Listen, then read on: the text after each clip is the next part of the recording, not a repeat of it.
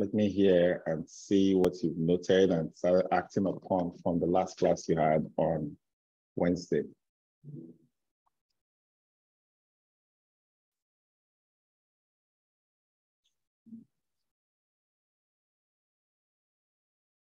Yes, who's going to go first?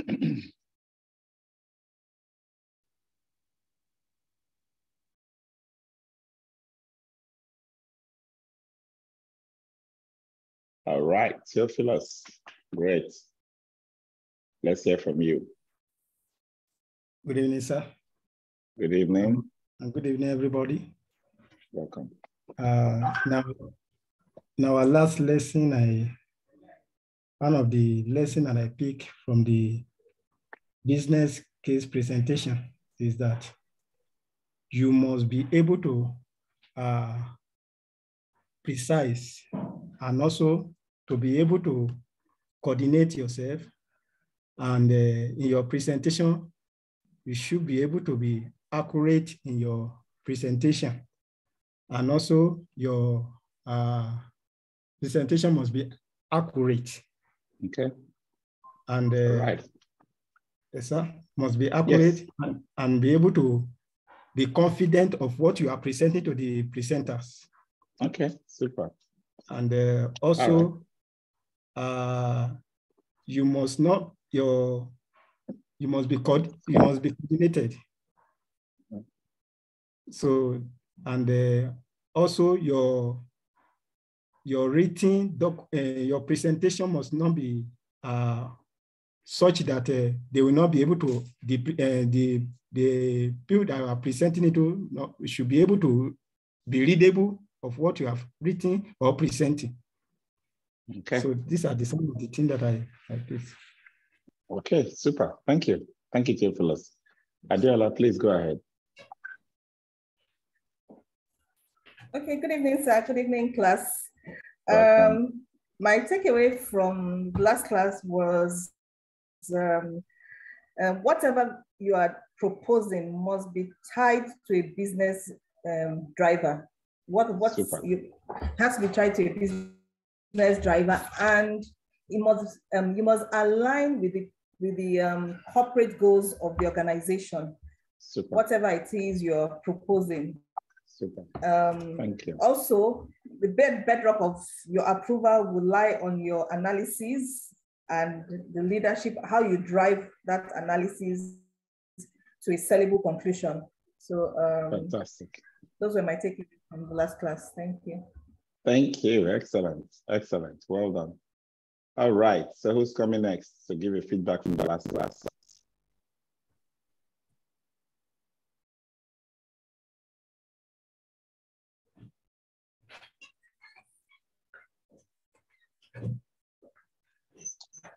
Yes, go on, guys. You are all here. Go ahead and tell me your takeaways.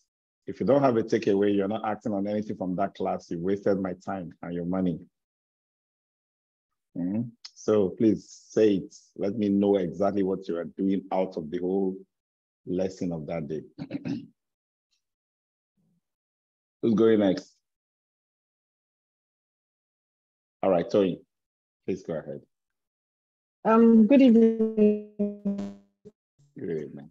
uh, good evening, class. Um, what my colleagues have summarized as much as possible, so you don't tell too much stories um, when you are making your presentation, so your audience don't lose track of what you're trying to get them to understand. Okay, super. Thank you. Kingsley.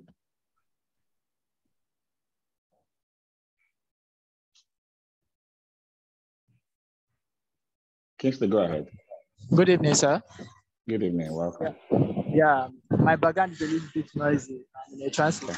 My takeaway for the last uh, section was uh, when present when when presenting a business case, you should you must be specific and um, know your audience, know the people you are doing, know their business and all that, and uh, you should also.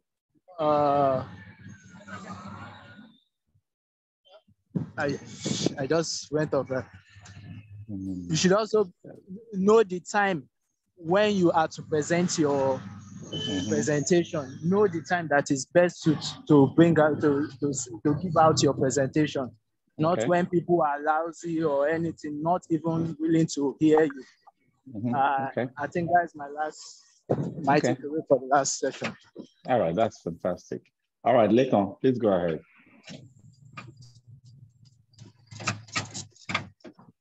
Good evening, sir. Good evening. Class, yeah.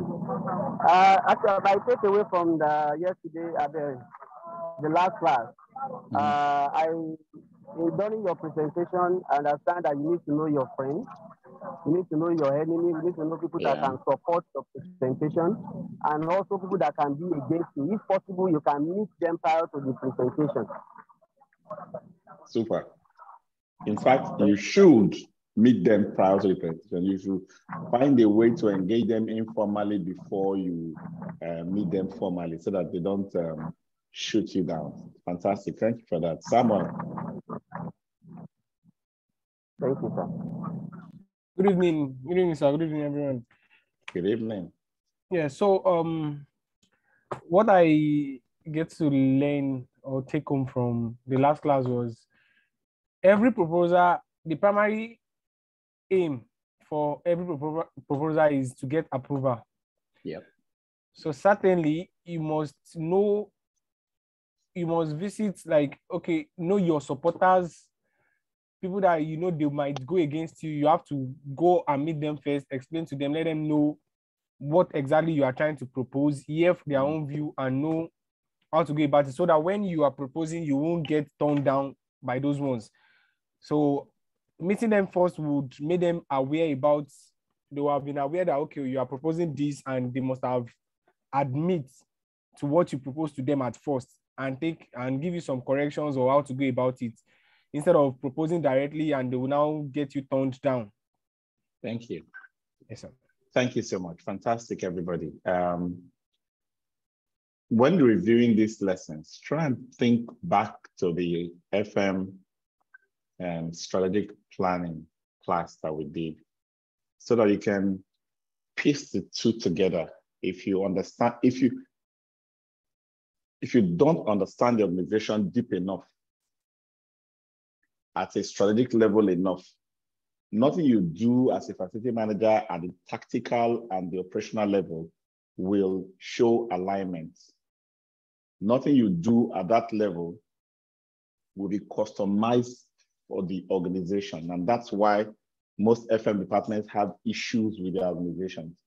You are trying to use a, a blanket template from one organization to another without customizing the solutions to meet the needs of the organization. That's where that alignment takes place. You must understand uh, very high level uh, strategic goals of the organization before everything you do at the lower levels will make sense. Yes, Daniel, please go ahead. Yes, good evening, sir. Good evening. I was able to uh, benefit rather that um, being a presenter, you have to be evening.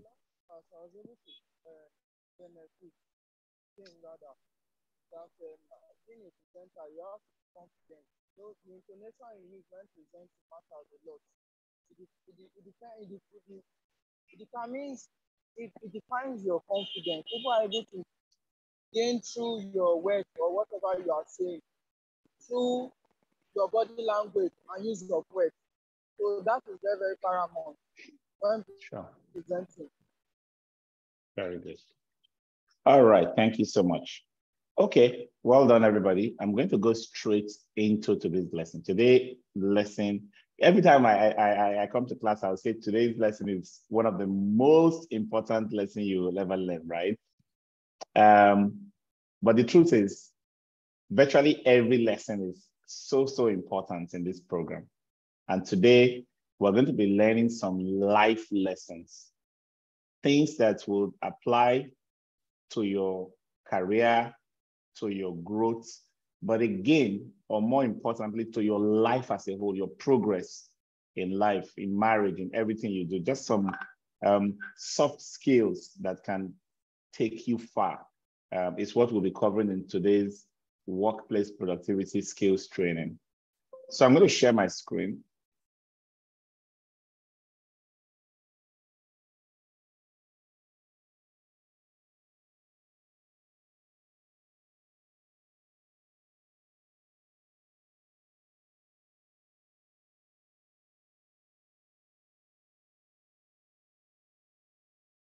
Okay, I hope my screen is up. You're seeing it? Yes, sir. All right, great, great. Um, yes, we are good to go. So today, you know, uh, before today's class, let me give you a little flashback. When we started the program in the second class or third class, we looked at FM careers and we tried to put you at the end from the beginning. If I finish this program, which direction would my career need to go? And what options are there for me?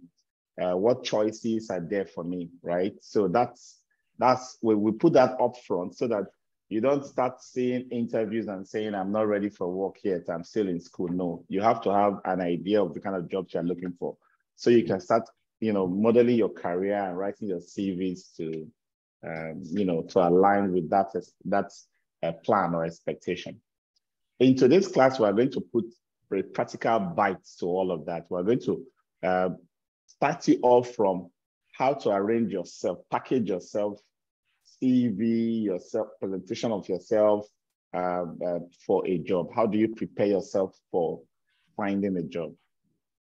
Then, when you do find a job, how do you keep? There are two different things. People people can be very good at finding jobs. There are those who, um, within a month or two of being out of work, boom, they're placed. But less than a year, puff, they're out. Whether it's their own doing or the doing of whatever circumstance they see, they think they keep seeing around themselves, you can have control of the entire process from how you acquire the job to how you keep the job. And then um, in our last class, we talked about a key soft skill you need to be able to excel at your work, right? So we talked about business cases making sense, using logic, and then presentations, where you communicate and convince for approvals and the rest. In the second part of today's uh, lesson, we're going to go into the writing component of that soft skills. Um, so you, you cannot uh, say, well, uh, I'm not very good at writing, I'm not very good at English, therefore um, ignore all my all my stuff and focus on, on, on, on the practicality of what I'm doing. You need both. You must be able to uh, rights. You must be able to manage meetings. You know, you must be able to uh, manage a corporate uh, work environment. So that's what we're going to be doing in today's class. Okay, quite a few models. But let's start from the first point. How do you start to look for a job? How do you start that process? Um, I know that uh, the first thing that many of us will think about uh, about uh, finding a job is uh, to document ourselves, put down who we are, put down um, what we are looking for, put down what we have to offer, um, and a few proof of our abilities. That's what a CV does. So a CV or resume is a document that um, that you put together to describe yourself. So it's your it's your shop front, it's your display page, right? Uh, but then after preparing that, you now go out, networking, uh, job boards, professional associations, just basically all the outings that need to uh, be done. My key lesson for anybody who is in between jobs or who is searching actively for work and not having, is not currently employed, is to take job searching and job, um, uh, you know, uh, uh, that recruitment process as a full-time job. If you take it as a as a hobby or part-time work, uh, then you are going to struggle because that's just the truth. You have to take it as a full-time work um, so that the right efforts the right efforts need to be applied to that process. But we're going to make it simpler and easier as we go through this class because we're going to really, really simplify the process for you so that you can use certain tools, certain uh, tricks, certain shortcuts to, to bypass um, a lot of um, the heavy lifting that goes into the uh, job uh, search and, and placement uh, um, uh, process. Now, the first thing I want to teach as a concept in workplace productivity in, in this job finding uh, section is what we call an elevator pitch or a short introductory statement of who you are. So the tool is called Me in 30 Seconds. If you had the chance to meet with someone you've always dreamed of working for, working with, or even getting to know because you know this person can help you get fantastic placements. You only have a very short span of time. One, because you don't control the other person's uh, uh, priorities and time. And two, because attention span is ever getting lower. If you start a long story with an introduction, a main body of the, of the message, and a conclusion or recommendation, you probably would have lost that person. What will you do in 30 seconds to show who you are, to tell who you are, to tell what you have to offer? now, this me in 30 seconds is not only for verbal introductions. You put together a CV and you want to introduce yourself in the CV. So you have that um, profile summary, which is at the top, just under your name in a CV. Use this me in 30 seconds, okay? You have some job applications where they expect you to write a cover letter. That cover letter is actually asking you to use a me in 30 seconds. So this tool is made up of five parts. Introduce your name, the job you want, which is your objective for making this pitch, for sending this cover letter or CV, for having this engagement in the first place. Uh, why you would be good, and, and then something again um, that I've not mentioned, you can also use this for that moment when you're asked to uh, tell us a little bit about yourself when interviews are starting. And people will go into how um, the first child in a family of six and so on and so forth. That's, you know, dash. Nobody cares about those. If you want to look at those, you can uh, look at your bio for that. The reality is they need you to use a big statement that introduces you and tells them something significant related to why you are even there in the first place. So say your name, your objective, why you'll be good at it. So that's the next thing, your qualifications. Some traits or skills that will help you succeed in that job. These are like um, uh, evidences, proof that you have what it takes. And then finally, a commitment question. So let's start with your name. Why should you start with your name? And I've heard people say, my name is Samuel. My name is Paul. My name is Sarah. Why do you introduce yourself with a single name? What is so terrible with your second surname? Why, why, why is it? Is it out of convenience? Is it out of, um, is it a secret? You know, it's too often. Somebody will call me on the phone and say, oh, my name is John. Uh, I was asked to meet you. John what?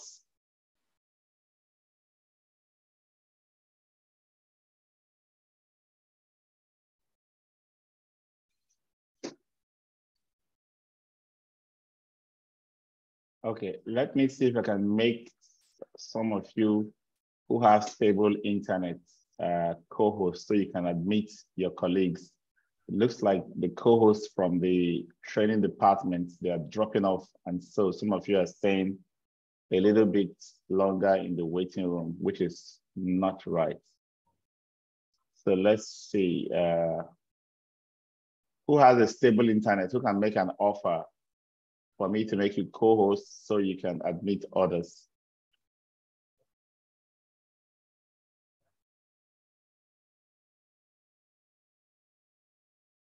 Nobody? Just say I have stable internet, I can admit others. I'm not dropping off and in.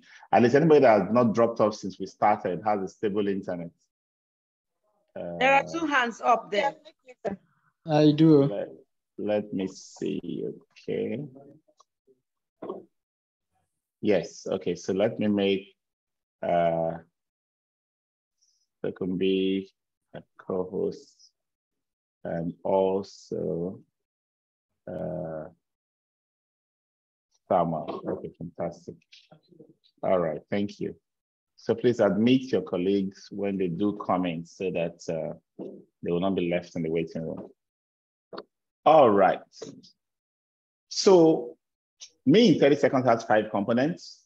The first one is say your name. My name is, but please, my name is not a single name. Nobody identifies by a single name. Samuel represents some millions of people in the world, right? So why would you just say my name is Samuel? You're not saying anything. It actually, it, it actually says something about how enlightened you are, uh, how uh, unenlightened, if I would uh, be more precise, to say my name is Samuel, my name is Paul, my name is John, my name is Sarah. You need to say your, not all of your names, at least first name and surname, right? So I have multiple names, but at least my first name and surname identifies me for this purpose and for virtually every purpose. We teach kids to say their full names and then we ourselves as adults introduce ourselves as, you know, Mary and the rest. Wrong. Number two, state your objective. Don't ever forget why you are having any engagement. There's something in your mind that you need to express. And there's a reason you are making that expression. State it. In this case, in me, for me, in 30 seconds, it is the objective of the job you want. And I want a job as in. So if you can, if you can be specific on the kind of job you are looking for and the industry or category uh, or segment of that job. Because if I want a job as a as an accountant, I don't want it in any organization in any industry. An accountant in a, a, a technology firm, an accountant in a, a fast-moving goods company are two different domains. So even if I want to job as a facility manager, I need to know the specific industry that I, I want that job in. So um, state your objective and please be specific on the two dimensions of this objective. A job type and a domain or segment where that job should be, should be. And of course, because you are doing this to someone or an organization, you can be that specific, not just an industry. I can say, I want a job as a facility manager in Churchgate Group. I'm bringing the organization uh, to spotlight, to focus, because I am pitching before that organization. Why you will be good at that job? What qualifies you for this job? Do you have any reason why you are even going to be considered? Why should I consider you? You know, if I can drop this in quickly, I will look like a beggar if I just tell my name and say I want this and that's it, right? No, I don't want to look like a beggar. I'm trying to tell you that I'm good at what I do. I must state it quickly. And I must prove it using number four, some traits or skills that will help you succeed in that job. So these are the things that I'm going to say, look, you know what? I said I can do this, but these are the things that I can tell you to let you know that I can really do it. And then don't leave without shooting your shot. A commitment question. All of that one to four are useless if you don't have a commitment question. In marketing, we say it's a call to action. A call to action is a drive home, making specific requests if, of what you want. There are so many people that have not been used to talking in this way. You can talk and talk and talk and talk, and the person you are talking to just simply says, okay, I've heard you. If you come back tomorrow and say, that's what we said yesterday. Um, you said you've heard me, but you've not done anything. He will not ask you, what do you expect me to do? Because you think by telling the story, I should go and act. No. If you don't ask specifically, you have not asked. I don't know whether your story, what, whatever you really want to get from me for telling me that story. Okay? It's called a me in 30 seconds. You need to create several versions of it and internalize it. Now, you may think that this tool is just for finding jobs. It's not. It can help you pass through appraisals and, and get promotions. It can help you pass through major presentations, you know, to groups or management uh, at, at different um, uh, times. And so you modify it to suit the need. Whenever you have to introduce yourself at all, it has to be using a name in 30 seconds. This is an example. Hello, my name is AK Sonia, and I want a job as site facility manager in a mall. Watch the first two. Number one, the name came out, two names. And then number two, the objective came out in two segments, designation or type of work and specific domain segments or industry. I have three years of site operations experience and a comprehensive FM training. What am I doing here? What, what are my qualifications? And again, qualifications, I've used two legs. One is my experience in site operations, specifically mentioning how many years. And the other is my qualification with regards to education or training and a comprehensive FM training. If you if you create your me in 30 seconds and you can fit in uh, uh, that statement that shows where you got your training or what qualification of training you've gotten, that would be fantastic. A comprehensive uh, diploma in facility management from Max-Migold Training Center. You know, but make sure that whatever you put into this, your introduction has to be a 30 seconds introduction. So you rehearse it, you know, calmly and, and the way you say something casually to make sure it doesn't exceed that 30 seconds. So that's number three in this example. And what happens next? I'm going to talk about some traits or skills that will help me succeed in the job I'm looking for. My clients always rate me high on customer service. Wow. Okay. I'm a process driven FM, and my team give me their best efforts.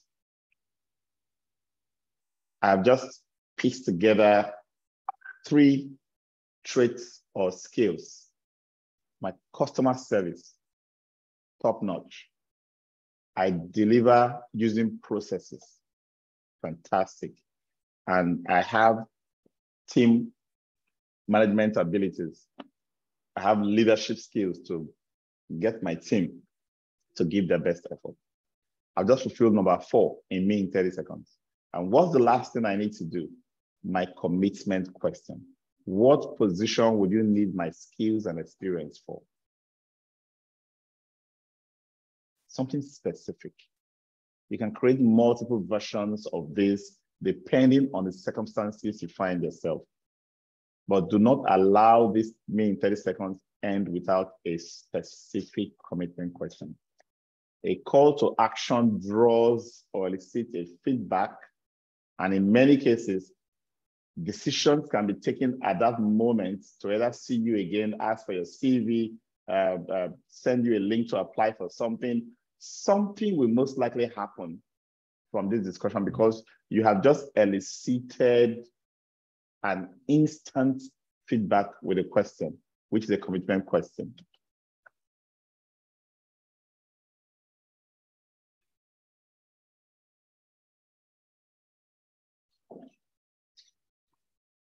Tool number two, the power statements. Where do you use power statement? You know, when I was teaching the, I was teaching the class here when I said, uh, many of you have CVs that outlines all the things you've been assigned to do. And I said, such CVs go into the bin. Nobody wants to know what you've been assigned to do. Your CVs are supposed to show achievements, accomplishments. What value have you added? That's the only thing that matters. Everything else is secondary. Okay? Now, to the specific, most direct application of the power statement. You see that part of the CV where you want to impress by listing out all your skills. Oh, um, I have um, uh, uh, uh, uh customer service. I have uh, high attention to details. I, I work under pressure. I, I, I have high integrity, blah, blah, blah. We write all of those things. And you just write it there and you leave it there. My dear, please stop writing those things in your CVs if you are not ready to prove them. Instead of writing 10 skills, write two or three skills using the power statements because those are the two or three skills that the job requires. Nobody wants to know whether you are a good musician, you can play uh, uh, uh, whatever notation and whatever uh, uh, uh, keys or whatever. Nobody, it doesn't matter if I'm looking for an FM, right?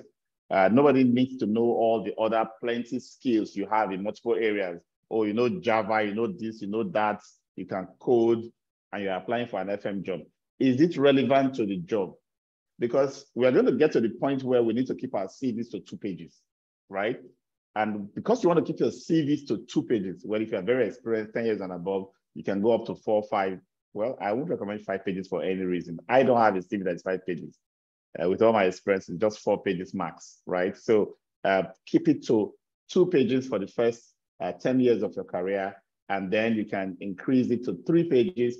And then maybe if you have too much achievements and accomplishments to show for specific jobs that you're applying for, or for specific opportunities you are trying to engage with, you can have um, uh, four pages. But again, as soon as you go past that stage, um, you go back again to a one-page profile. So if somebody asks me who I am today, I use a one-page profile to present myself, okay? Because yes, that's where I am now. But in, in line with keeping uh, to uh, a certain uh, uh number of pages, you don't want to uh, you know, run a lot the risk of um, not having information to flesh out the skills you are presenting as your skills, right? I don't want to have um, the risk of uh, having to defend every skill you put in there and then you have 10 pages. But this is the bottom line. Every time you write a skill, you must use a power statement. Whether it's in a cover letter, whether it's in a uh, CV, whether it's filling application forms where they ask you all those questions and you're feeling all about yourself. This is a tool for it. There are four parts to this one, not five. Four. Number one, identify a value, skill, or strength.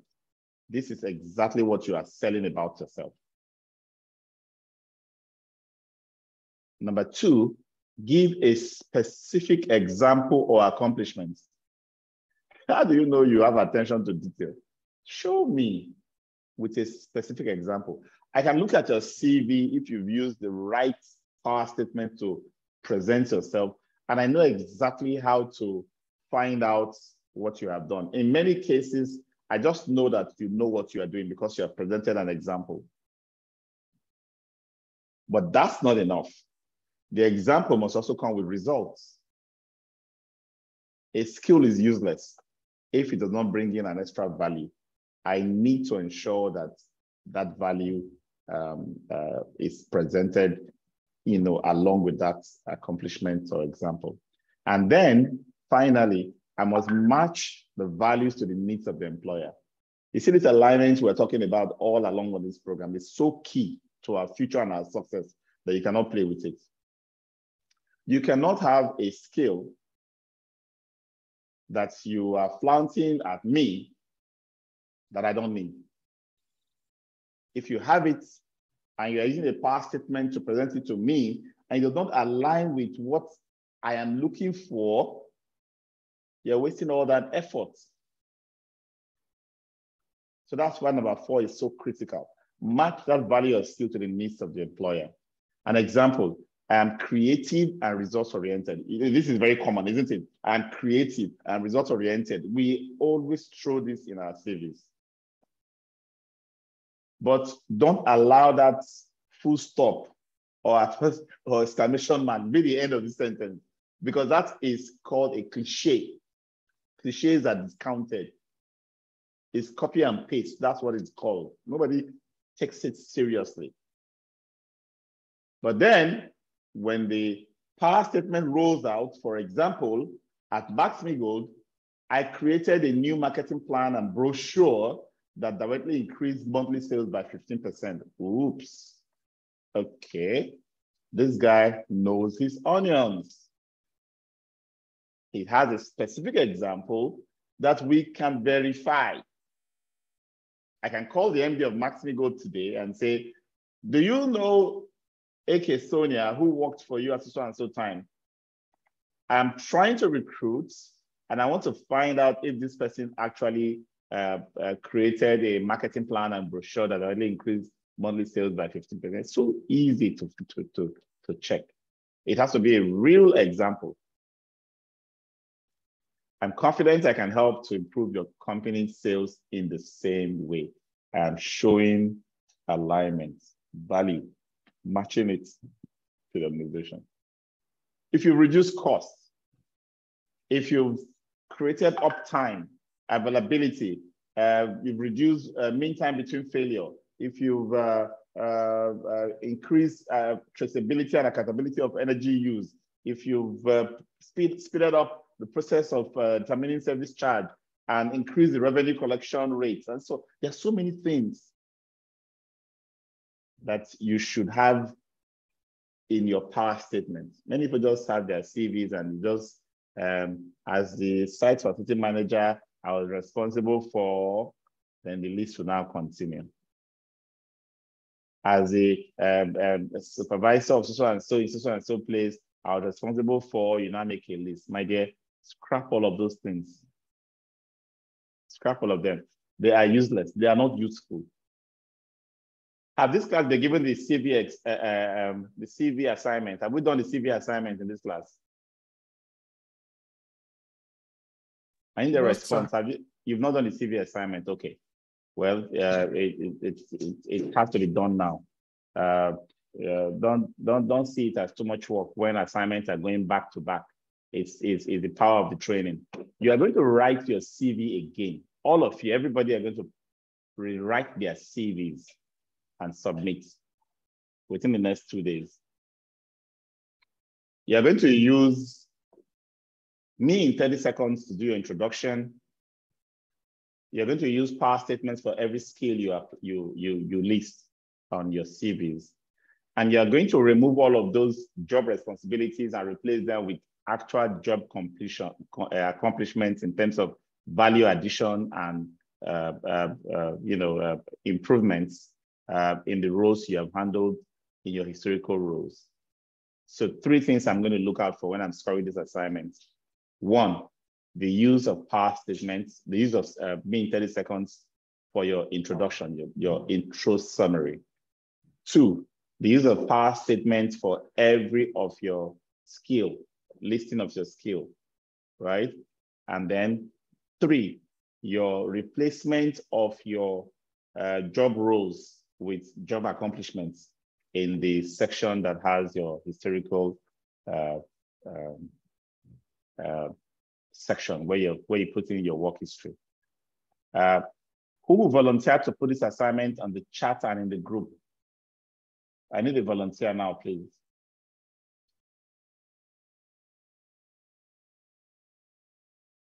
Should I go over it again? Yes. Yes, sir. Rewrite, rewrite your CV from scratch.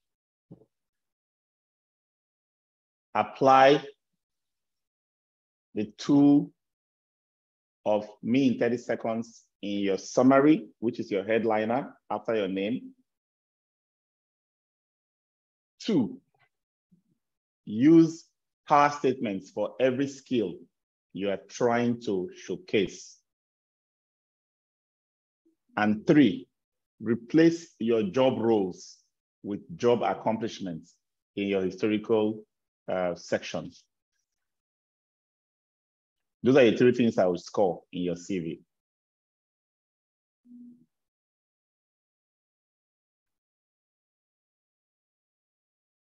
Taken? So who's going to volunteer to put it in the group and in the chat now? I'll put it, sir. All right. Thank you so much. All right, so let's move on.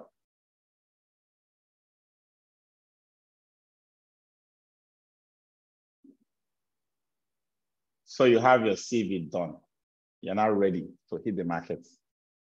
Many people have been working um, in their life out of luck. They just finished school, they were talking in their living room. Somebody says, Oh, there, somebody said they're recruiting. Let me go and try. Luckily, they just selected you. I had a friend who were growing up. I was, we just finished our secondary school um, um, uh, then, and I was apprentice in a photography studio, uh, waiting the next step in life uh, then. Uh, and then he always comes around and hangs around. And one day he comes to me and says, Do you see that big hotel across the street there? I'm the manager there. And I say, Ah, who makes you manager? I, I, I mean, he was really, really uh, short and very skinny. And you even think he's a child. You won't even think that he's crossed 12 or 13. At the time, he was already like 16, 17. Said, I'm the manager there. Who made you manager? He said, it's the vacancy. I saw the vacancy. People have been going there for interview. He said, I went in there yesterday and I didn't even say much. The madam just liked my face and then said, you can resume at the first of next month. I thought he was joking, but he actually resumed. And for close to two years, he was manager of that hotel. It was, yeah, such happens, right? Uh, point here is you don't need to depend on stroke of luck to get, you know, through your career or get into the right job. But sometimes we are looking, all of us are looking in one source that's giving fewer jobs, whereas few people are looking in another source that's giving more jobs. What are we trying to say? Advertisements that have been published, job boards, all of those public places for looking for work, everybody are there. I mean, there was a there was there was a campaign once about uh, the value of LinkedIn. We create a profile on LinkedIn. We start harassing people with I'm, I'm, I'm looking for work. Do you have any vacancy and blah blah blah. People are getting these jobs. Well, people are actually getting the jobs, but it's everywhere from between 14 to 21% in terms of uh, uh, the ratio of applicants to jobs that are being found there. But you see that informal network, personal contact with companies, word of mouth, referral. Somebody knew somebody who talked to somebody and they said, let me just check you out. Uh, there's always that uh, uh, uh familiarity around that network. People who are actually using that network to look for work are very few, 3%, 5%. But the jobs that are being found in those settings at 30 to 35%. In fact, I can tell you that uh, in the early days of starting my company, most of the people I hired are from informal networks. In some cases, the job was created around an individual.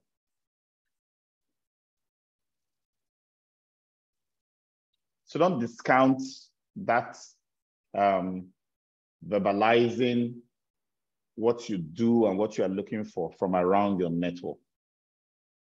Because you could say, oh, people in my network, oh, they're, they don't, they're not highly placed and blah, blah, blah. You might talk about it with someone who knows somebody else you don't know, who will say, oh, I think that person might be able to help. So that's the uh, lesson here uh, about using the informal network. It's, it's called the hidden job market the potential is huge. There there are little competition in there, and there's a lot of uh, uh, jobs rolling out in that uh, environment. I also know another source of very good employment, and this is one source that most people in Nigeria have not explored very well. Volunteering and interning. Many of us are too eager to get paid that we lose the opportunity to get the experience or the opportunity to gain the experience. By the way, experience is not about how long you have stayed on the job. Don't, don't ever go back to bed every day and say, oh, I've added one day of experience. No, that's not an experience. That's how long you have stayed on the job. The experience is how much accomplishments, achievements, value have you added to the job. Because if you get to the end of the month as you get your paycheck, and you can say, this month I was able to reduce turnaround time from 24 hours to 18 hours. Please write it down. It should go into your CV. And that's why your CV review process should not be a once, a, a once in a lifetime or whenever you need it. Some people have worked in a place for like 10 years or 15 years. And then uh, when it's a pending or actual dislocation, uh, that's when they pull out their CV and they say the last time they edited it was before they got that last job. My dear, that is a blunder. Your CVs should be going undergoing review on a regular basis while you are actively working and not searching for work. Because that's how you can take the achievements and accomplishments and keep editing it into your CV. Because the day your CV will be needed, it should be ready immediately to go. Okay? So interning and volunteering can open up opportunities for you, but please be honest about it. I've seen too many people coming like, you know, um, um, uh, puppies with, with, with orphan puppies or whatever, looking like, oh, please just give me a chance. And, and then they, they just work for one month or two months. You've shown them the ropes, you've taught them some things. And, and, and I mean, they're smart, they're picking it up. And you hope that they will begin to uh, uh, learn more. And the next thing they will like, um, I'm already adding too much value for free.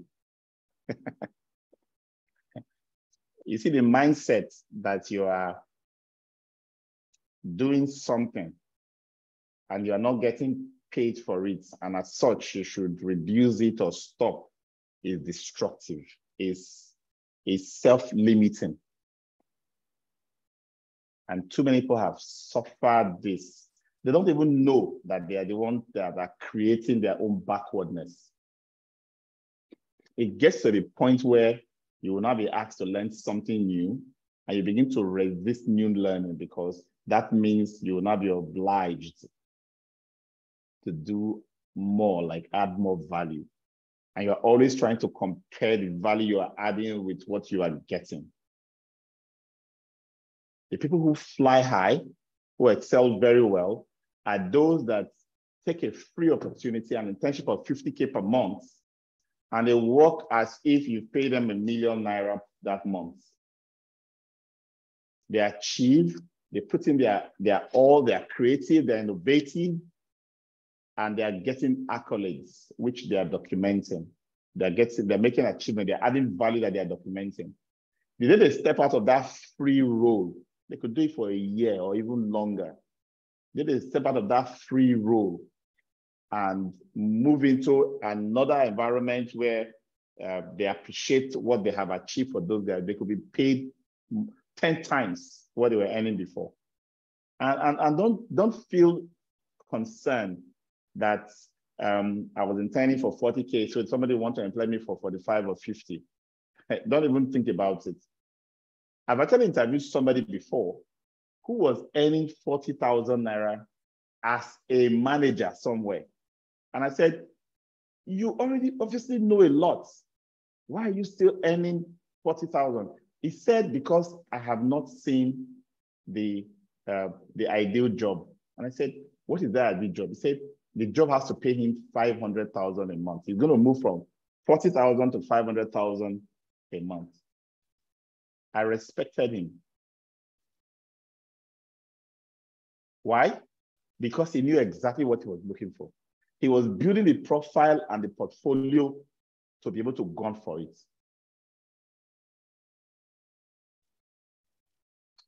All right, so you get into an interview and you hear all kinds of questions. You know, when the interview question starts popping left, right, and center, uh, many of us, you know, kind of fret, look for some kind of formulas, magic ones, formulas to, to answer interview questions. If your interviewers are prepared themselves, uh, then guidance on how to respond to interview questions like these we're talking about will be useful. Because if you throw questions in an interview, they don't even know what kind of answer they should expect um, from you. And as such, whatever you say might tick them off or might you know support your uh, improve your your your I give you an, a positive impression about you uh, for such people. But common questions: Tell me about yourself. What are your strengths? What are your weaknesses? Why do you want to work for us? What did you think of your last boss? How do you react to pressure? What do you expect to be paid? Uh, describe the last major mistake you made and blah, blah. These are, these are pretty standard textbook uh, interview templates, right? You will meet them in most interviews, most interviews, the common question. And there are also the questions that carry the highest weight because they are not testing your technical ability. These are not questions that are testing your technical ability. They are testing your attitude and your, and your mindset. You know that your ability to do the job, your, your, your, um, what will I use now? Your, your technical capability can be trained. So it's not so it's not so critical for most employers to have someone who is, you know, is the best with the day-to-day activities. They are more concerned with your attitude, character. So that's why we say uh, you, you, you, can you can you, you can take someone with a low aptitude, but you can't touch anybody with a low attitude.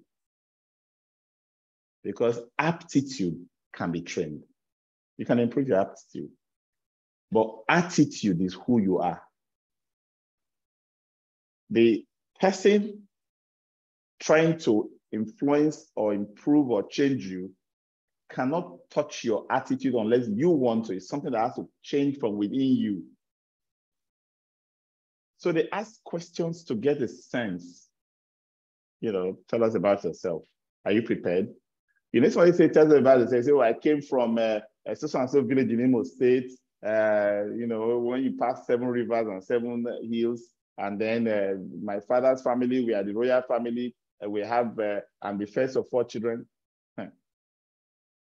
It happens. You know, some of you may think this is a joke. It's either you have done it or you have been an interview. I have been an interview this year when this happened.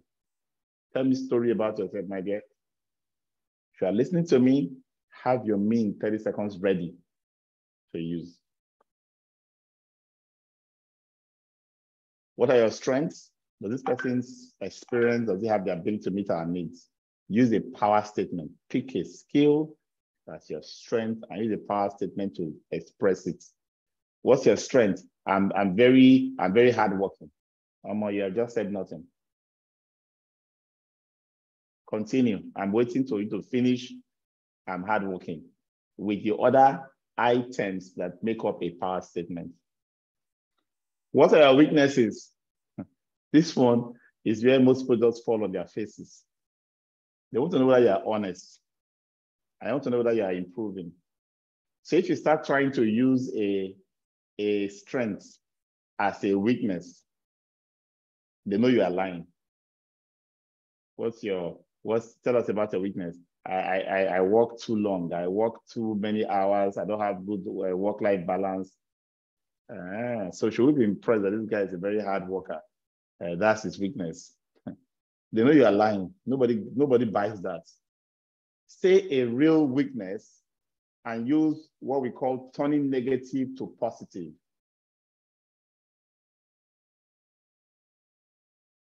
A common weakness could be uh, uh, uh, I, I, I, sometimes I, in, in, in, in, in the pressure of uh, uh, uh, the environment, I can be harsh to my subordinates.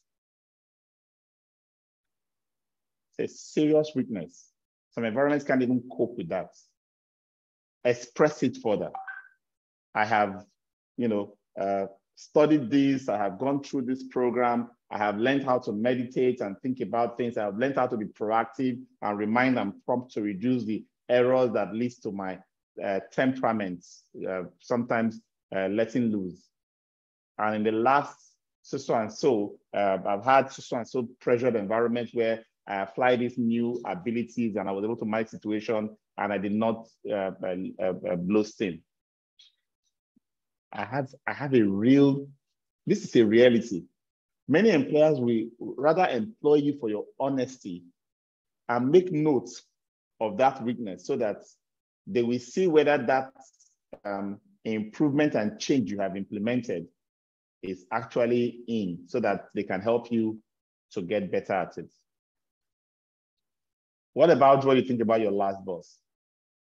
the last boss that you fought with and you you didn't give notice and you walked away and you come here and now start saying things about how the that environment is not very structured uh, there are no processes for doing anything uh, i had to leave because uh, you know the pressure was already too much. There was no order of doing things. Just looking at it like this.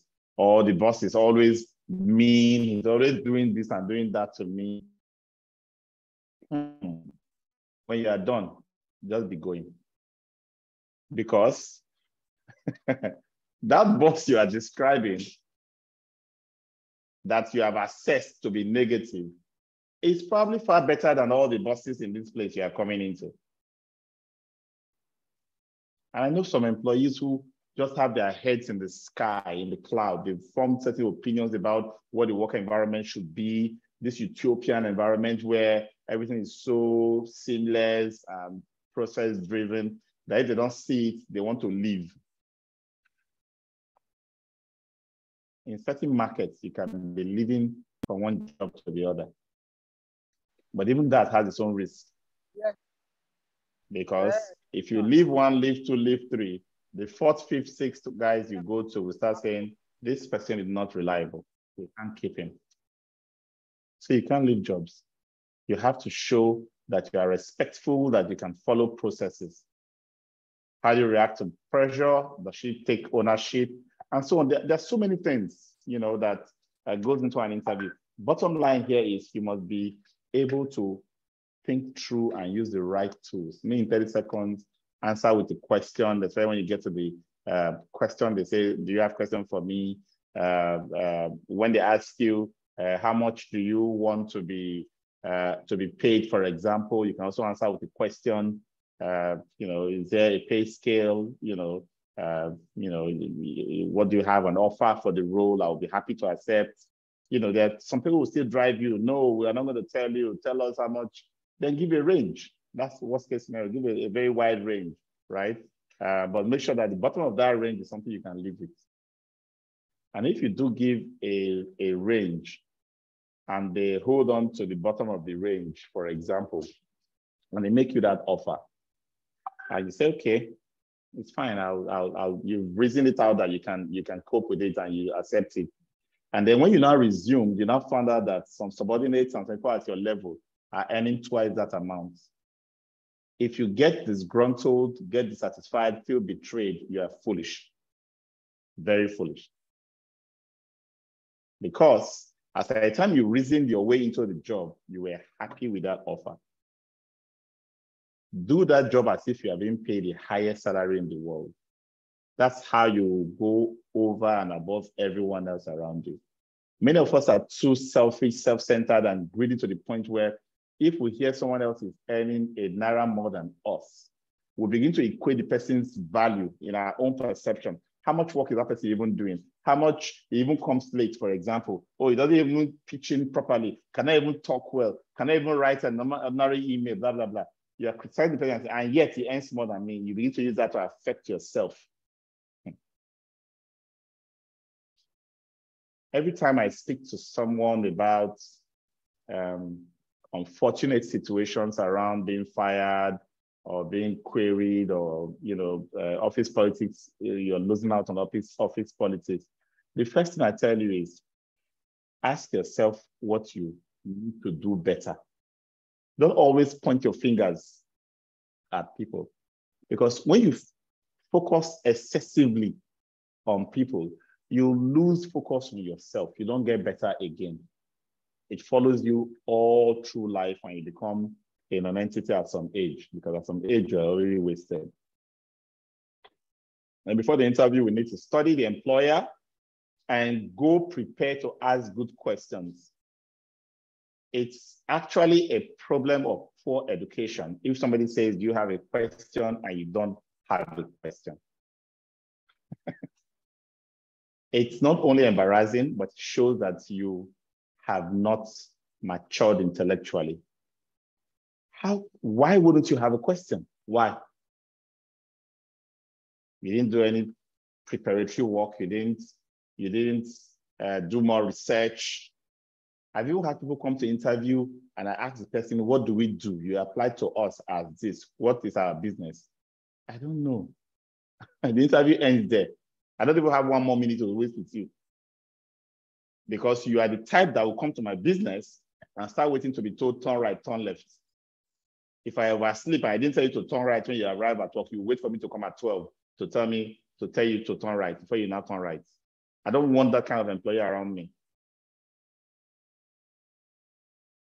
So you must have questions, you must have your me in 30 seconds, and have your power statement ready. Yeah, this is very important. There are so many questions you can ask um, when in an interview environment. Going for the interview, uh, prepare yourself, have, you know, work on your attitude, you know, pray for peace and, and yeah, I mean, all of us have some religious background or something that we, we anchor to spiritually. Uh, be polite and respectful, be on time. You don't have any reason under heaven to be late for an interview. No, not one. Oh, no, this address was too hard to find. Uh, you know, we, oh, come on. If it meant going on that trip a day before, so that you can know the neighborhood and know how to maneuver your way before the day of the interview, do it if you're so unable to use tools like Google Maps or other things to uh, ask questions to know your way around. So you can't be late. And by the way, traffic is not an excuse anymore in a city like Lagos. I was late because of traffic. Is the lamest thing you can ever say for any circumstance, not just for interviews. Okay. Show interest in the company and the interviewer. Show interest, genuine interest. You come because you want to add something. Too many people go to interviews looking like I'm here to grab. Tell me what you have for me. Your entitlement mentality destroys the opportunity for you. Smile and be pleasant, act confidently and speak clearly. And then in terms of your grooming, clean and simple does it. Clean and simple does it. Any excessive anything from perfume that can be smelled from across the hallway to uh, nails that have been fixed to be uh, two inches out of your, your fingers to makeup that is Madonna or some uh, high class stuff already puts, paints you in bad lights. So is appearing shabby. Oh, I'm a very simple guy. Uh, I don't need to wash my shirts or iron it. uh, know, people, I, I bathe once a day. It's in the evening. So even if I've not bathed now, my body doesn't have a problem. There are so many things that can take you off. If I'm interviewing you, I cannot stand your presence. I end your interview and you're out. In fact, so many questions I will not even be asked because I can't stand your presence. It's disgusting. Okay. So for men and women, you know, moderate, simple, clean. And I dare say to men, please make sure, even men and women, everybody, make sure the clothes you wear to an interview is ironed. Doesn't have to be, doesn't have to be, um, uh, flat, uh, you know, uh, flamboyant. Don't borrow to, to go to the interview. Dress simple, but make sure it's iron. That's the simplest thing you can do. Press it. And then uh, wear dress up one notch above the daily work routine. So if, if the job is a jeans and t-shirt kind of uh, a job, your interview can you can attend interview with a shirt and tie and a, and, and trouser, no tie, right? If it's a shirt and trouser and tie kind of job, you can put on a suit um, or a blazer. Just take it one notch up uh, for dressing. And then for women, please dress to look simple and corporate. At least let the dress go below your knee. All of those um, uh, um, uh, bump shorts and uh, mini skirts and uh, uh, uh, cleavage revealing attires for interviews, my dear, it will only end you in another discussion, not that job.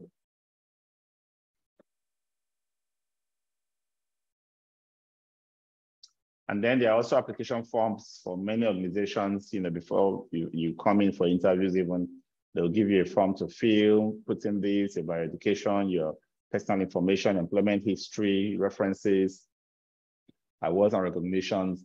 So there are some tips we also provided here. Um, use as much of the tools we've taught. Uh, putting your, your skills using power statements uh, in any of these forms you are filling so that you can make the right impact as you submit those forms because some of them are just going to be the screening tool that is going to take you out or take you in um, to the job.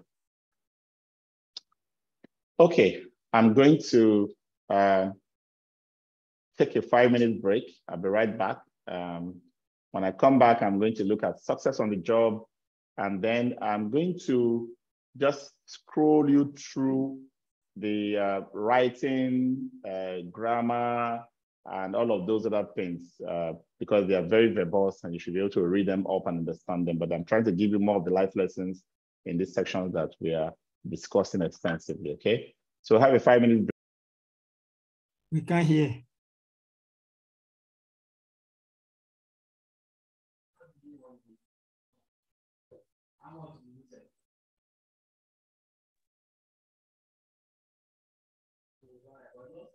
No audible. Like Hello. general problem. He's having, he's having a network issue. I think it's out. General issue. He'll be back So soon. good. He's working back. on it. Yeah. Faith should continue with the class. Which faith? Of course, Faith, Not the class rep. Oh. You can. I, I just called Miss Barakat, so she said they're working on the connection. Okay, I was even trying to call Miss Barakat. I don't know what I- happened. I just spoke, I just spoke with her now. Mm, okay, that's good. It's just I didn't see her on the group chat, like the chat list. Eh, as, no, no, um, she's not. She's not even here. She's not here, Okay. but she'll be joining. Okay. Mr. Paul is here okay. now. How about Jackson? He's not also well? He's not here too. Okay. All right. I, I, I don't think the problem I had was necessarily uh, internet because uh, even after it, it knocked me off, I just couldn't sign back in with the internet, uh, even with a different internet. And now I'm still with the first internet. It just kept saying technical problems. So well, thank God I'm back in. Uh, let me share my screen and just uh, move on. That was a strange occurrence. Okay. Do you hear me? Yes, we can hear you. sir. All right, thank you.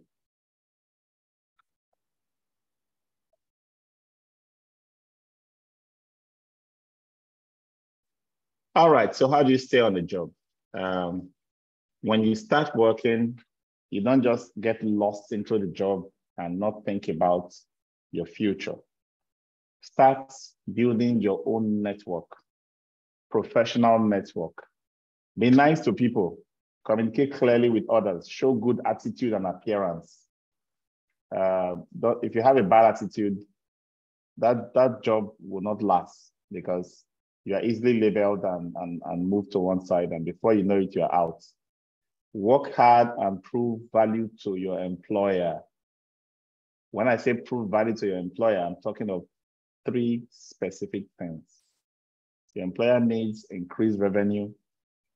Your employer needs reduced costs and your employer needs happy customers. If anything you do does not add to one, two, or three of these, it is not valuable to any employer. If you are not in a position to increase revenue, at least don't be the one helping to waste the revenue that has been generated. And if you can show value in any or all of these three areas, they should be documentable. You should be able to show value in terms of measurable metrics, things you contributed to the employer.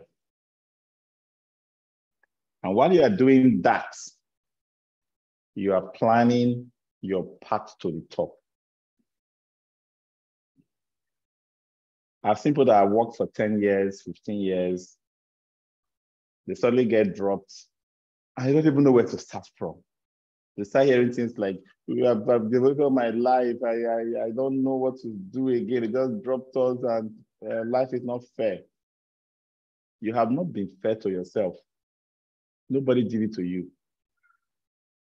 And that's why many people are in jobs today that they cannot imagine losing. It's almost like I will die if I lose this job. So if somebody says, come and uh, uh, uh, sleep with me as a woman, or come and uh, steal on my behalf as a man, or do some crazy thing, you just say, I don't have a choice. I just have to do it because I don't want to lose my job. How many of you worship your job as if your life depends on it? It is because you are clueless about how to grow and how to get better jobs. Because you've not opened your mind to know how to deliver well to the point where you'll be desired to the extent that you'll be the one threatening, I want to leave. I will say, no, no, no, please don't leave. I beg not vex, never is like that. I play with they play with you. How can you make this real in your own career?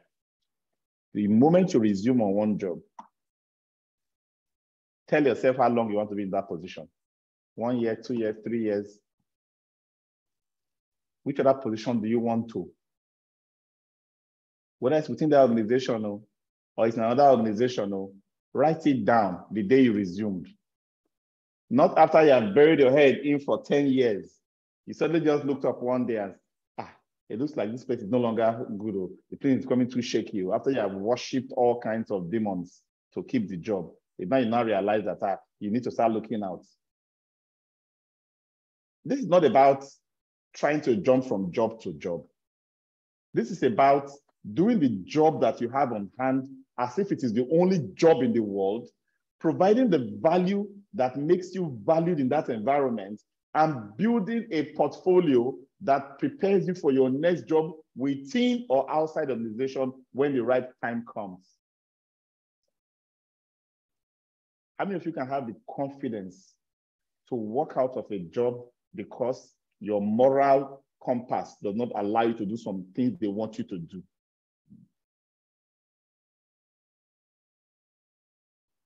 If you stay and do it, and you bend, you doctor documents, you corruptly help people to get enriched, and you do all kind of funny things on the job, just because if I resist, uh, my job will be on the line, they will fire me. It is because you're not prepared for the job market in the first place. It's because you don't have anything to, any value to give. That's why this job is so important that you have to sell your conscience to keep it. So the day you resumed, as you are doing it with all your heart, might, mind, and strength, that's the day you are looking at what is the next stage for me? When will that next stage be? Three years time, two years time, three years time, five years time. You have to know the skills and knowledge you will need. And the reason you should know your next position now is because as you are working, you should be acquiring the skills and knowledge you need for that next position. Not when you now get sacked after five, six, seven, or 10 years. You know, start saying, please, oh, let me go and do for one HSE course. Let me go and do one project management course. Let me so that I can use that one to, oh, come on. In our careers class, I told you, if you if you don't if you don't have a correct matching of education and experience, and experience I told you again, not years on the job is value you've provided, right? You will not get any job don't think that uh, you just quickly go and do one course, get one paper to, to apply for a job. That will give you the job. No, no, no, no. It might, it might in some lucky stroke uh, situation. But there must be a matching between what you are doing, how you are getting the experience, and the training and growth you were giving yourself throughout that process. And I tell you, if you have spent five years since you graduated from school before you got another certification, degree, or something significant to add to your academic qualification, don't allow it be more than five years. So take it as my rule of five. My rule of thumb of five. In five years after your first degree, acquire something else. A certification, most likely, because for FMs, additional degree. because even your first degree in the first place had no value in your FM uh, profession in the first place. So having additional degrees, I don't know where, where, where, where they're going to lead you to, right?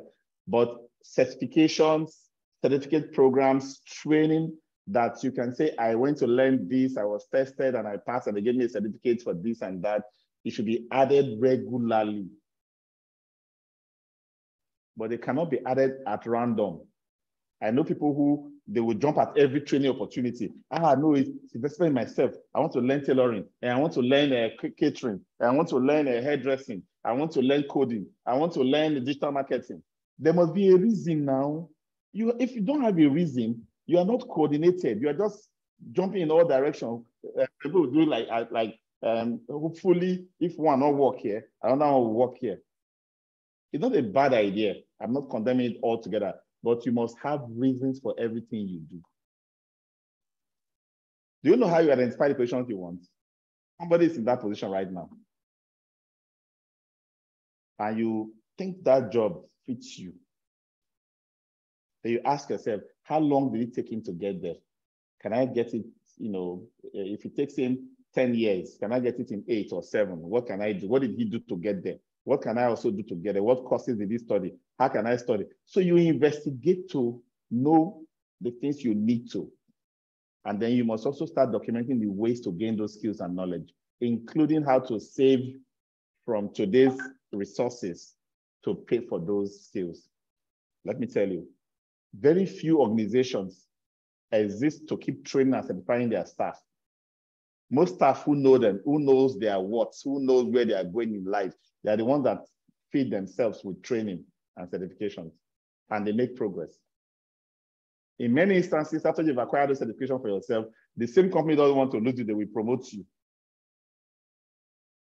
So even if you want to stay put, the positions you are looking for, you must target them well, and you must know how to gain the skills and knowledge. Don't hope that if you have spent 10 years here, they will not promote you into that position tomorrow because the company knows exactly what needs to be done there. And if you are not qualified for it, will get somebody from outside that want to be your bosses. And this is the problem many of us have in the FM industry. We are getting bosses being brought in when we could have been the ones stepping into those positions. Why? The money you have been saving are either going into consumption, paying medical bills and house rent and uh, uh, uh, private school fees and things like that, instead of investing into your earning capability and capacity. I know people say, oh no, it's, it's my children's school first. So if I just if I, if I can't pay my children's school fees and they are paying expensive school fees, my dear, you will end up plateaued, not able to make progress and worthless eventually. Those children will still suffer. So learn to save to invest. If your children have to go to private uh, uh, public schools while you are still increasing your certifications, uh, because for 100K per month to 500K per month, if there are no mates when you come to annual salary, 100K per month is 1.2. 500K per month is 6 million. so if you are taking 100K per month and you need to do school fees and house rent in a flat in, uh, in uh, somewhere, and you are, just keep spending because you are, you stay at a point and you'll be asked out. But the smart ones, they will live below 50% of what they are earning. They will spend the rest on acquiring and acquiring and acquiring in a focused way. By the time you are now, you know, at certain ages, 40, 45, you are not earning big. And you can move your children out of public schools and take them to, to private schools and private universities, and you can give them the, the good things of life, and you can begin to pay medical bills for everybody in your extended family. Not when you are still struggling or you are not standing yet. This is wisdom. If you want, take it, please take it. I'm not telling you not to be good to people, but run only as fast as your, your, your feet can carry you. Okay? And if you destroy yourself or die early, people you are still doing all those things, but they will move on. Don't think they will not move on. So that's how you grow on the job. And then don't stick with the same way things are done on the job forever. If you are on a job that uses one way of doing it today, keep your eyes open for news, technology, advancement, software. Start getting involved, getting becoming aware. The world now is a global village. Many of us have phones and we don't know what to search to go into YouTube for. We're only doing music videos and TikTok videos and celebrity gist and sports. it's nice. Unfortunately, I am not, I don't have a passion for any of those things. So my friends even wonder how I, I survive without being a fan of a club or following football matches. I mean, you can watch it and tell me the score. I'll just follow. I can watch the summary, all those highlights when they are finished playing it before and they are now doing it again. They're just fast, fast, fast, fast. Hey, I like those ones because I have my faculty focused on more important things. So keep aware of technology. Be abreast, be a, a, a, ahead of the curve in your industry, okay?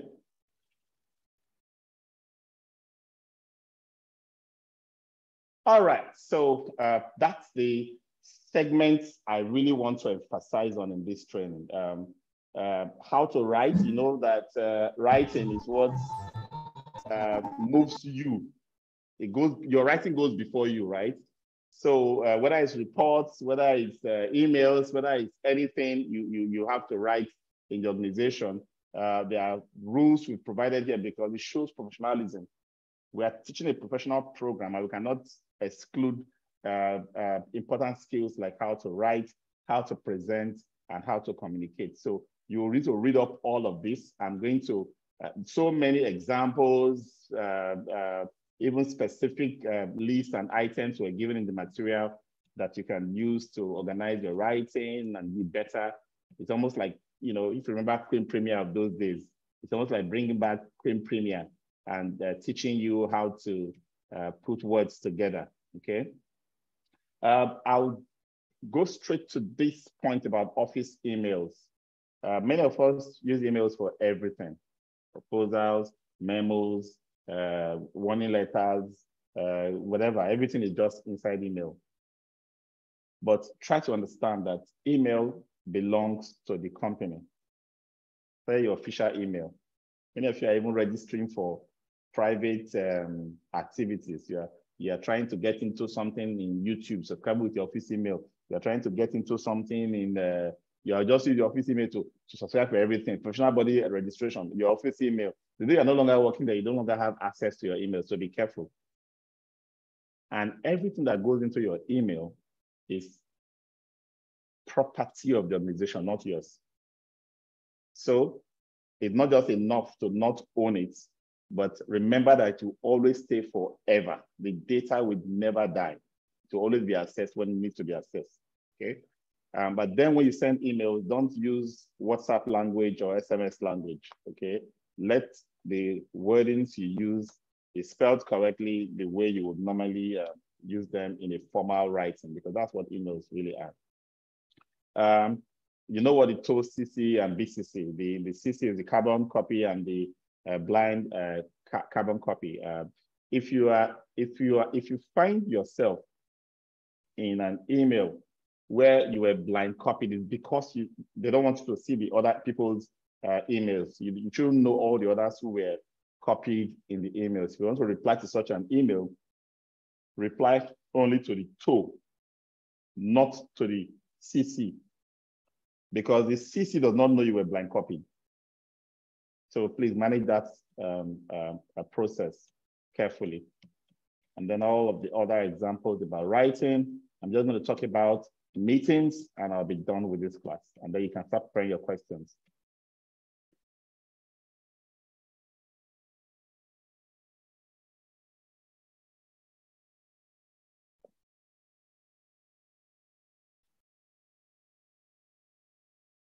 Because meetings are so important. Sometimes they waste they waste so much of organization's time. Have you ever found yourself in a meeting where you don't even know why you are there? You don't have a word to say. you are not learning anything from them. You're just there because somebody thinks you should be there, or because your title uh, was mentioned as listed uh, positions to be in that meeting. Uh, so before a meeting, you send out an invitation that tells people what um, uh, the meeting will be about, right? And that uh, is what we're talking about. So the agenda of a meeting should be provided to people that will attend. And why do you need to do that? So that they can prepare and not come to waste everybody's time. You go into a meeting and get to somebody's turn and say, oh, please, wait, let me search for it now with all of us, all of our time. Or, oh, I'm so sorry. I didn't know I was going to be presenting this. Uh, so please don't worry, next meeting. So we should all wait till next week before. We, so you, you can get a sense of what a meeting is. If you attend in a meeting that goes for one hour meeting, it's 10 hours of company time that has been that has been used, right? So you must know why you're in a meeting and you must be prepared for the meeting. Okay. And the agenda must be organized in a logical flow so that the discussions can, can be reasonable. And please set time for various discussion, guidelines for how discussions will be handled, and don't allow any other business in your meeting agenda. I don't allow it. The best practice to say, if I'm sending you an invite for the meeting, this is the agenda discussion. If you have any other agenda you want us to discuss, please suggest it now so we can add it to the meeting and we share to everybody involved. Any other business usually gives the person who has any other business the advantage of being the only person that has processed the thoughts about that topic. And if that topic is allowed into a meeting, what happens is that the meeting minutes will read that we, we in the meeting uh, discussed and agreed what else is somebody's agenda. So that's why AOBs are not really uh, encouraged. Okay, so let's hear your questions. That's uh, everything else. Please read up. Um, we have so many uh, courses you can take online from Max-Migold uh, uh, online learning library. Everything from basic bookkeeping to Word, Excel, PowerPoint, how to use them, everything to leadership, everything to how to supervise people. We have about 150 um, uh, uh, courses online in our learning library that you can subscribe and they are not expensive. Each of these uh, courses are somewhere from uh, less than 10K, you know, just like your Coursera uh, courses. Uh, we'll, we'll, we'll, relaunch that platform and I'll start sharing it with you guys. So you can select uh, uh, uh of these uh, skills and be picking them one by one and getting certified, certified in them, okay? All right, so let's hear your questions. I'm going to. So please come back on your last statement. I didn't get clear. So. I said we have a we have a an online library of soft skills um, that are cheap. 10k for uh, book basic bookkeeping, for example, supervision skills, uh, how to write business letters, uh, you know, proposals, specific skills that you need in the workplace. Uh, we will relaunch the platform. We, we've hosted it for almost four years uh, now in the Shopify platform, but we're creating a, a, a learning platform, a learning management system, like the one you're using for this class now. We're just going to load all of them in there and, and give you access to pick uh, uh, such short courses online, get certificates for them at 10K or less, things like that. Uh, because all of these things we're teaching in this program is uh, it's more condensed, more concentrated, but we try to highlight on the very um, significant uh, key ones so that you can have something you can get to work and start changing your, your way of doing things and the way of thinking right away. Uh, beyond that, you need to keep studying and picking up more uh, expansion or expansion of most of the skills, okay? Uh, yes. Thank you. Okay. Faith, your question. Okay, sir. My question is about um, CVs. You mentioned yeah. that we should um, always uh, we should um, edit our CVs regularly. We shouldn't just wait till we are looking for a job. So my question now is, um, if, for example, my CV has been tailored to one particular um, scope, if I want to apply for a job, do I have to always edit it to suit that job? Yes, yes, yes. Every time you, you see, when you, if you're going to use me in 30 seconds for your introduction, and you're going to use power statements for your skills, and for every job, your me in 30 seconds has an, an, an element in it that has to be um, uh, suited to the job you're applying for.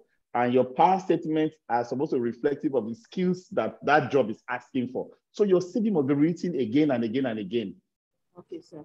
So that means yeah. if, for example, I have several um, maybe certifications, I, I, that means I will need to outline only those that relates to the job, right? Yes, only those that are relevant the ones that to the job. Okay. Super, super. Only those that are relevant, right? So not necessarily relate, but relevant because relevant. you could be going for an FM job. HSE is relevant. Yes. Uh, project management is relevant. You understand? If you have done uh, environmental stuff is relevant. If you've done community health is relevant. You get what I'm saying? Yes, it has sir. to be relevant to the job you're applying for. Yeah. Yes, Thank you, sir. You're welcome. Abdul. Yeah. Thank you very much. Today's um, course is quite uh, enlightening. I think I got one or two things that I was that are personal to me.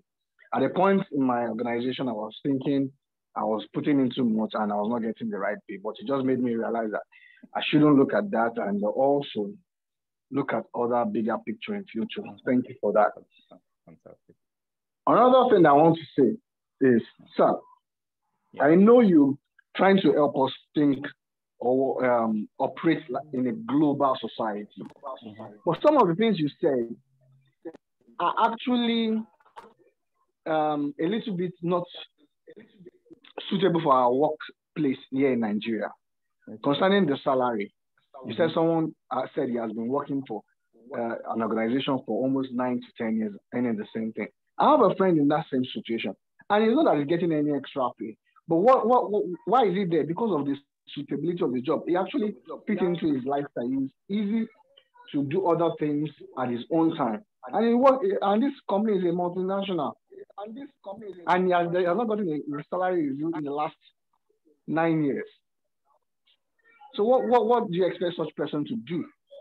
Okay, so the, the, the, the reality of such situation is if there are other people on that job who are being promoted and you are not being promoted, you are being seen as useless, you're valueless you're to that organization, and you can be fired. So, so he should not think of just hanging on to the job because it's suited to the, to the lifestyle, but he should think of how to be valuable to that employer on that job. The moment he becomes valuable to that employer on that job, the moment he becomes valuable what, what, what will it be in a job for, for 13 years, nine years, 10 years, and no raise, no promotion, nothing? And then, and then you, you see, the truth is you are being worthless to yourself and to the people you are around. Sir, one, one thing I notice about him is that usually when they want to open new outlets or mm. new, they, they, they bring him into uh, a committee or a group or a team mm. that they work on things and mm. they get it done later on they return them back to their normal mm. department. So mm. on that basis, I think it's been relevant, but not, but no, there's no any additional. The only thing is they just add to their welfare for that period. After then, that's all. If he was fired from that job today, can he get employed by another organization in that industry? That's the bigger question.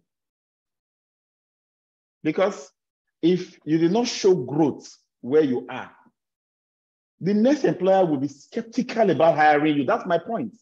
So even if you are comfortable, in fact, it's that comfort that is my problem with staying in one spot.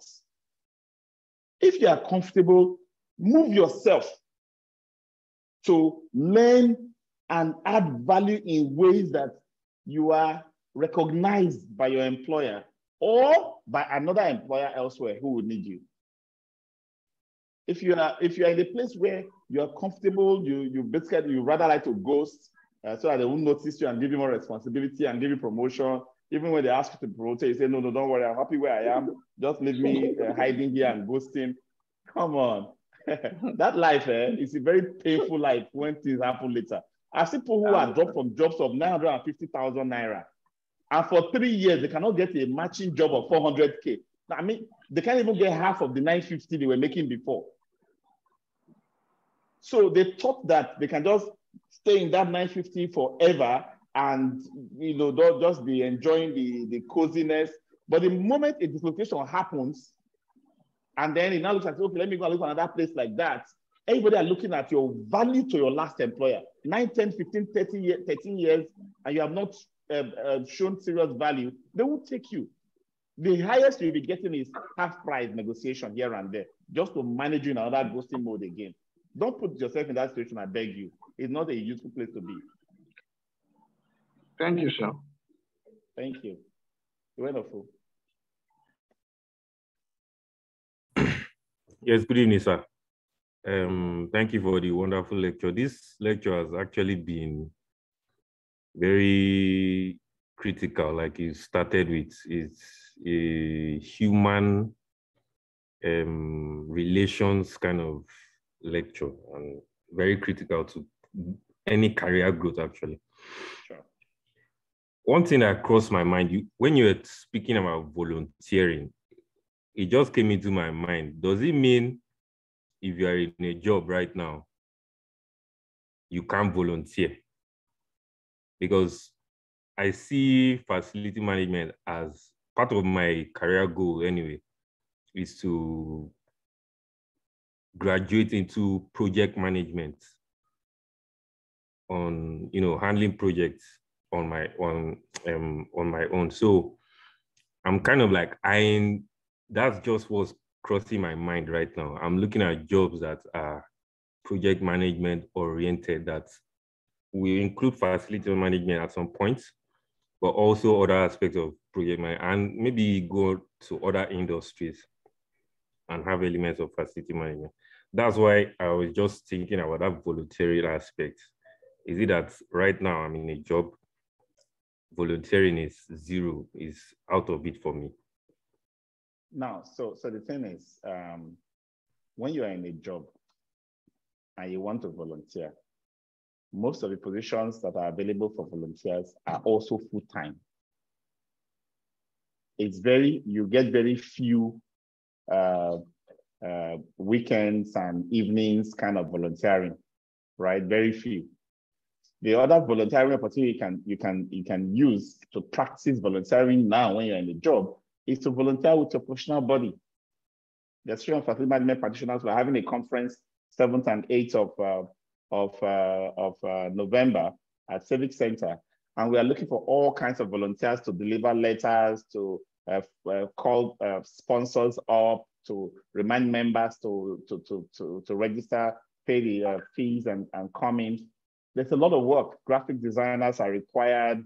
A lot of volunteering opportunities exist in the professional bodies that can help you manage. Take, for example, you are in the committee organizing that conference. That's a huge project management uh, endeavor, right, that you can do on a part-time basis. But for most companies that you want to volunteer for, they will they will not be accepting you as a volunteer when you are working full-time with a competitor, for example, right? So that's the way to, to, to think about it. So if you get to a point where you want to make a clean break from one career to the other, then you can take a volunteer and internship opportunity to gain experience in that other field and stop from where you are. So that's why many people are coming to the FM diploma because they want to switch to FM. They will have to get to the point where they'll make a decision to stop uh, where they are and then decide to take up an opportunity um, that gives them experience within the FM space. Okay. Okay, thank you, sir. You're welcome. Adela, please go ahead. Okay, thank you, sir, for the lecture. Um, so I want to ask, I think more of, I need clarity on this FM career path. Um, I remember when we had the field trip um, experience, was at a health facility. Mm-hmm. And um, at least from what I understood by all, all that we experienced, the facility manager there had to have a, a good understanding of how a health facility works for him to be able mm-hmm. to manage the place, yeah. Um, be yeah, be useful. So is the facility management um, career, is it tailored to a sector? Like if you are growing your career, can you grow it to tailor it to a sector? Or there's just a general growth and then when you now find yourself in in a particular industry you now have to in, develop yourself for that industry. I don't know what i just need clarity. What you said last is the correct statement if you if you it's either you know exactly where you are going before before you started right that you specifically look for work in that industry and you got in, or you just got any job and while you are doing the job, you started improving yourself in that industry. Bottom line is you need to understand the organization you are working for, all their internal processes to be able to be become the strategic enabler. You are now like the engine that makes that organization work well, right? So you cannot say you don't understand what they are doing and be able to enable them succeed at what they what they should be doing, right? So so that's why the FM's job we are we are masters of all, right? If I'm in a transport organization today or an aviation organization today, I am studying everything about the kind of customers. I'm studying everything about the kind of 24-hour routines. I'm looking at uh, uh, uh, uh, aviation statutory regulations that are specific to the aviation industry because my job is to understand all of those. So I'll spend time learning, getting certified in that industry to the point where when I write my uh, uh, me in 30 seconds or any of my uh, power statements, they will be tailored to specializations in that industry. So I can actually grow in, there are FMs today that are just data centers. There are FMs today that are just hospitals and medical uh, uh facilities. There are FMs that are suited for malls and retail facilities. There are some that are factory and industries. You know, because you got an uh, opportunity and you now built yourself in it. The problem I'm trying to kill or uh, uh, destroy right now from our minds is that aloofness.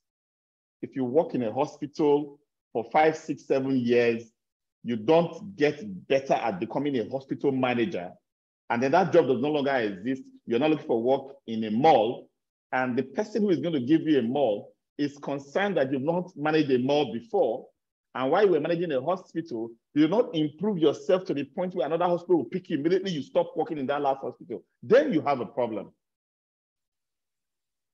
Okay. Okay, but then in that case, so shouldn't it mean that you shouldn't really be too streamlined? Because that's kind of like putting you in a box or something. No, no, see, get the point. Facility management eh, as a profession eh, is broad-based. Okay? So FM manages built environment for every industry, every industry. If you have a CFM today, certified facility manager, it means that you can operate in any industry at any level. That's what it means.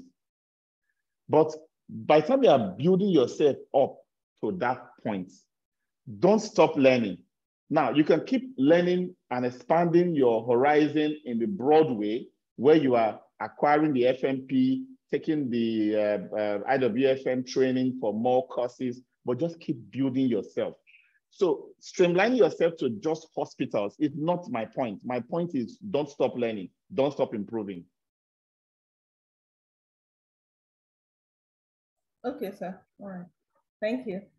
You're welcome. Samuel, last question for the evening. Hello? Yes, go ahead, Samuel. Good evening, sir. Good evening. And good evening, sir. Thank you, sir, for today's lecture. Every lecture we've been having has been um, quite expository and then knowledge based. Thank you very much. Okay, sir. My question right now is this: um, Is there something about transcending from a particular position to another position, either in the organization you're working with or in a different Out organization? Yes, yes. Yes.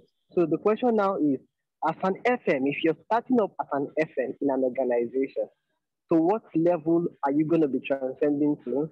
Are you going to be transcending to a director's level or probably uh, um, an assistant executive level? Or I don't know. So I'm just trying to look at the trend. Just what one level? step. one step yes. above you, at, just one step above you at a time.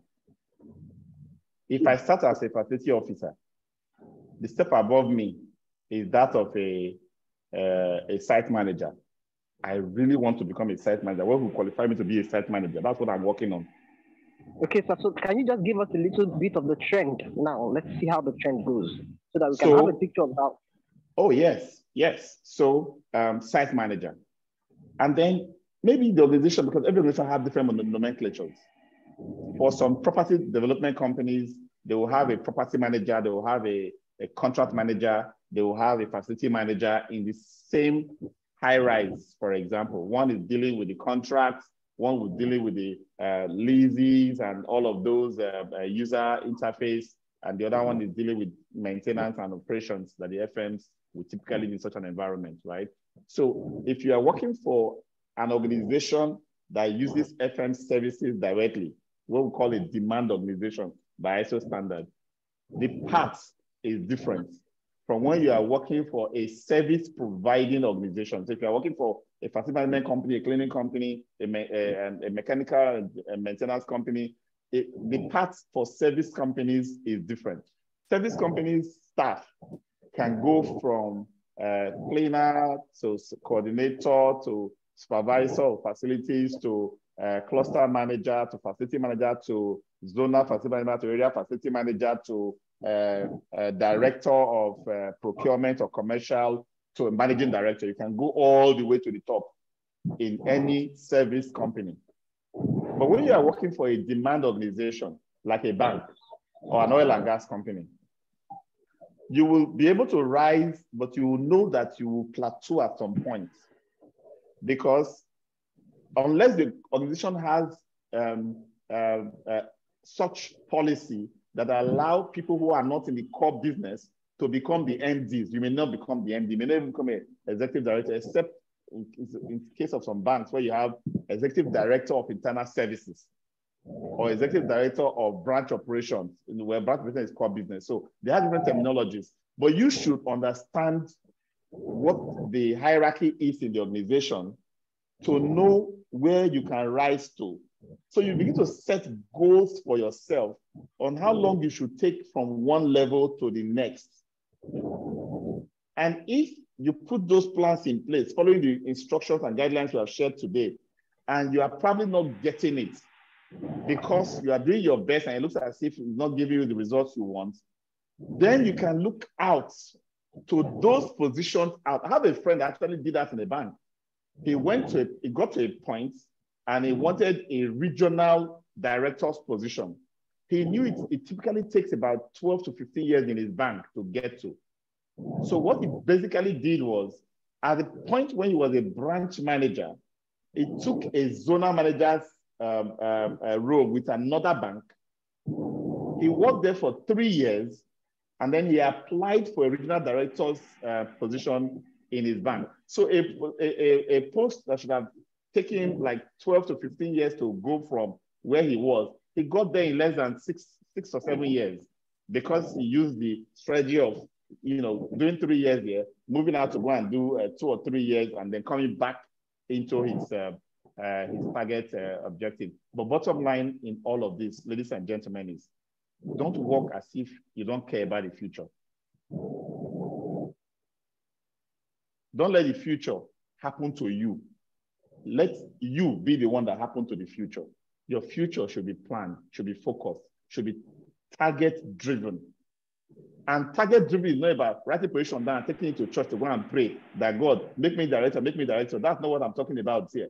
You need to know specifically what skills, education, experience people who are there have acquired, how they got it.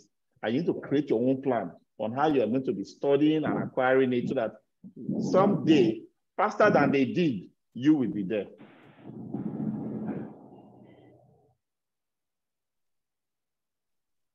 So Samuel, one step at a time and not, uh, not necessarily trying to uh, uh, go from FM officer to executive director. No, one step. Once I'm in site manager, I plan for uh, cluster manager. Once I'm in cluster manager, I plan for regional manager. Once I'm in regional manager, I plan for executive director like that. Yeah. So another question is this. Okay. I'm sorry. So another question is this: um, can, can this be possible if we are not narrow, narrow-minded to a particular sector, or if we are vast in, as, in, as an FM, being a practitioner in virtually any sector we find ourselves? Can this be possible? FM, to, yes, yes. FM is a jack of all trades and master of all, right? So let me give you let me give you a, a, a, a simple pathway in FM expertise, right? You, you, you, you, you can you can gain your all FM certifications are not sector specific, none. Whether it's the FMP, the SFP, the CFM, none of them is sector specific because an FM provides services to all industry. So you can actually rise within FM, right, without being narrowed down to one sector. You can, and I want you to actually take that path. Okay, so don't think that because you are in aviation today, um, you go and start doing aviation related stuff that you did not grow in FM. If you are doing FM and you are studying avionics and all of those technical stuff in aviation uh, uh, uh, uh, uh, business, uh, that is because you want to leave FM. Your next job is inside aviation. But if you want to be FM, you should be studying FM and, and working your way up in FM, okay? okay, sir. Okay, thank you. You're welcome. Looks like Abdul and Diola are back again. Okay, Abdul, quick one, 30 seconds. Okay, sir. Um, you earlier mentioned well, during your presentation that um, when you're writing your CV, you should probably mention the organization you would like to be you mentioned Churchgate. Okay, now what if church gates do No. not have facility No, manager? No, no, no. Because I am sending my CV to church gates, I can say I want to work in church gates. I cannot be writing my CV for another person and be writing. If if there's no opportunity there, I won't be applying in the first place. If I'm even shooting a if I'm even shooting a wild dart towards Churchgates, for example, uh, if they see the value, because I, before I even do that for a vacancy that was not declared, either I know somebody or I know the business enough to see that their facility management is in disarray, and there's a way I will package myself, and they will see me as a savior, and they will invite me. Are you get what I'm saying? So it's possible that they've not published a vacancy, but I've studied them enough to know that these people have problem. I need to find a way to get in there and add value and solve their problem. I'm packaging myself for them specifically. Okay, now, so what about banks that outsource their facility management roles? And you would like to work with that bank, but you don't know the facility managing uh, managing company that they actually uh, um, hired, or you know, but the company is not willing to send you to that sector. So wanting No. to send, send you to another sector, maybe they have a factory somewhere, or they have a manufacturing something somewhere, or they have a sports center somewhere, For or a medical there are two different somewhere. companies. There are two different companies. The bank is a company on its own. The outsourced FM company is a company on its own. Who do you want to work for? Choose. If you want to work for the FM company, eh, eh, different from you want for the. If you want to work for the bank, you apply to the bank to become their facility manager, who will now be one supervising that contractor. So, so, so the bank that has sourced their FM is looking for a strategist. So you must investigate them and see exactly where you should pitch to be a solution provider so they can employ you to go and help them manage that contractor. But sometimes they don't come as those jobs don't come as FM. It's sometimes come as operational managers or admin or some, sometimes admin, you know, package okay. in such It's manner. okay. It's okay. You know it. You know it. So because you know it, you you you refine your your your your pitch and your submission to reflect what you know is the need and the uh, nomenclature there. Okay. Okay.